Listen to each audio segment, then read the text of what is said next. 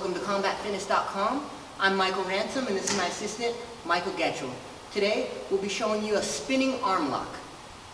Okay, so, I've passed, I've passed the guard, and a lot of times this really works when I've got bigger, stronger guys on the bottom who are able to kind of get up on their side.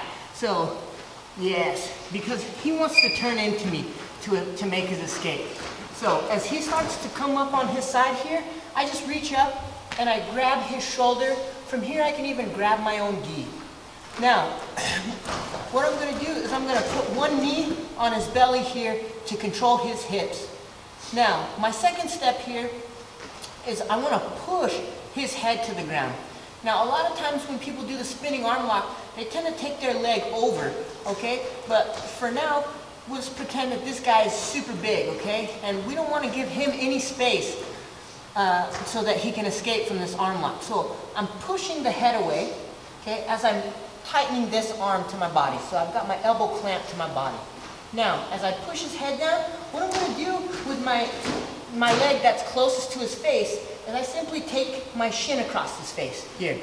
Now, I can base my hand on the ground, my foot slides across his neck, and I simply turn, okay? I pinch my knees together, my hand's already locked to my gi, grab the wrist, make sure that my leg is heavy over his neck, pinch my knees together, and fall back and get the tap. So once more from a different angle. Okay. So I'm in side control. Guys, nice and strong. Look, he's pulling me up. Okay. Make sure that I grab here on his shoulder or his, his elbow here. Grab my knee, clamp down. Knee goes on the belly. I push the face down. Okay? Then I bring my shin and foot across his neck. I base my hand here. Now, one simple thing here that I want you guys to see is that my foot is underneath his shoulder making a hook. So my toes are pulled back, okay?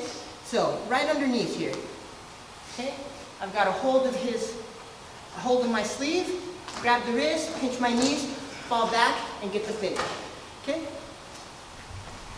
Okay, so once in real time.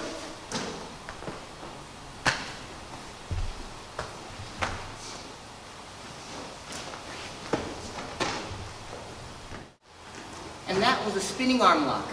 Thanks for tuning in to combatfitness.com. For more techniques or to learn about Boise's premier mixed martial arts training center, please visit combatfitness.com.